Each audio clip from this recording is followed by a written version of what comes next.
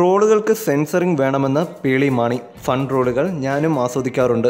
എന്നെ കളിയാക്കിക്കൊണ്ടുള്ള ട്രോളുകൾ പോലും ഫേസ്ബുക്കിൽ ഷെയർ ചെയ്യാറുമുണ്ട്. പക്ഷേ ട്രോളുകളുടെ ലക്ഷ്യം പലപ്പോഴും മാറുന്ന പോലെ തോന്നാറുണ്ട്. വ്യക്തിഹത്യകളിലും സ്ത്രീകളെ മോശമായി ചിത്രീകരിക്കുന്നതിലുമാണ് ചില ട്രോളന്മാരെങ്കിലും ആനന്ദം കണ്ടെത്തുന്നത്. സ്ത്രീകൾ ഏറെ കഷ്ടപ്പെട്ടും കഠിനാധ്വാനം ചെയ്തുമാണ് ഓരോ മേഖലയിലും മുന്നേറുന്നത്. ഇതിനിടയിൽ അവർക്കൊരു പിഴവ് കാട്ടിയാൽ അത് ഉയർത്തിക്കാട്ടി ട്രോളി മോശക്കാരാക്കുന്നത് കഷ്ടമാണ്. അത് അവരെ എത്രമാത്രം വേദനിപ്പിക്കുന്നുണ്ടെന്ന് ട്രോളന്മാർ ആലോചിക്കുന്നില്ല. സ്ത്രീകളെക്കുറിച്ച് വൃത്തികേട് എഴുതുന്ന ചൂരുകളാകരുത് ട്രോളുകൾ ട്രോളുകൾക്ക് സെൻസറിങ് ഉണ്ടാകണം എന്നാണ് എന്റെ പക്ഷം You are watching You are watching You're watching me and you're watching me on on metromatney.com. on metromatney.com. metromatney.com. Metromatney.com. Subscribe for more videos.